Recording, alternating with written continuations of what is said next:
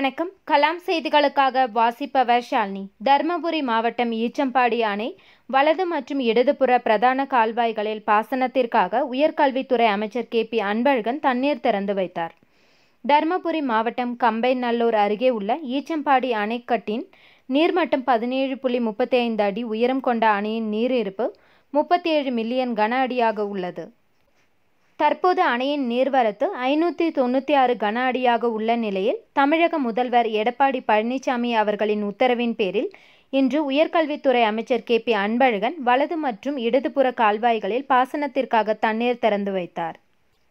இடதுபுற கால்வாய் மூலம் மூவாயிரத்தி இருநூற்றி ஐம்பது ஏக்கர் நிலங்களும் வலதுபுற கால்வாய் மூலம் மூவாயிரம் ஏக்கர் நிலங்கள் என மொத்தம் ஆறாயிரத்தி இருநூற்றி ஐம்பது ஏக்கர் புன்சை நிலங்கள் பயனடையும் வகையில் முப்பத்தைந்து கன அடி வீதம் இரண்டு கால்வாய்களில் மொத்தம் எழுபது கன அடி தண்ணீர் திறந்துவிடப்பட்டது.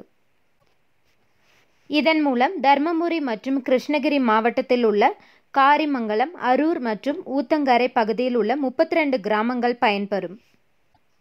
ஈச்சம்பாடி அணைக்கட்டு தற்போது உள்ள நீரின் அளவை கொண்டு நீரினை சிக்கனமாக பயன்படுத்தி பாசனம் செய்ய அமைச்சர் வேண்டுகோள் விடுத்துள்ளார்.